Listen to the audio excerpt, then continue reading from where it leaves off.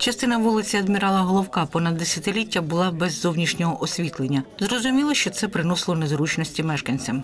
В связи с тем, что у нас поступает очень много жалоб от жителей улицы Головко на неосвещенную улицу, определенный промежуток, который, который был раскраден в 90-е годы, возникла необходимость восстановить эту линию.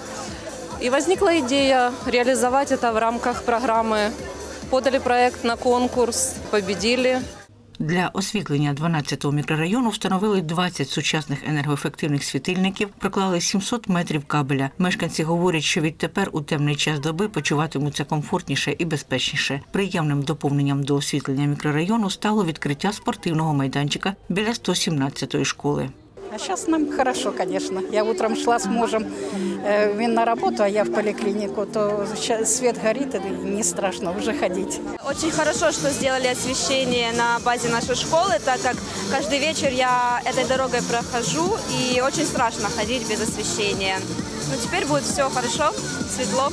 Все жители нашего микрорайона очень благодарны тому, что компания Метинвест все-таки услышала наши просьбы и воплотила этот проект в жизнь.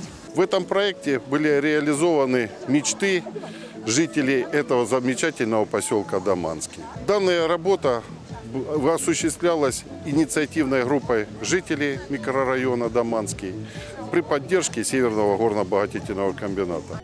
Це був завершальний проект, реалізований північним комбінатом у 2015 році в рамках соціальної програми Метінвесту Місто нашими руками. Усього їх було 15 на загальну суму півтора мільйони гривень. Втілення проєктів у життя дозволило зробити Тернівський район комфортнішим.